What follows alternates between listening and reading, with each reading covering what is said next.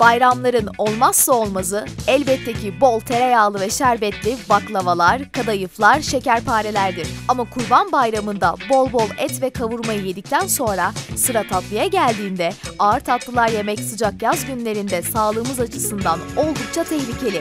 İşte tam bu noktada Galeri Ataköy Özsüt'teki birbirinden lezzetli sütlü tatlılar imdadınıza yetişiyor.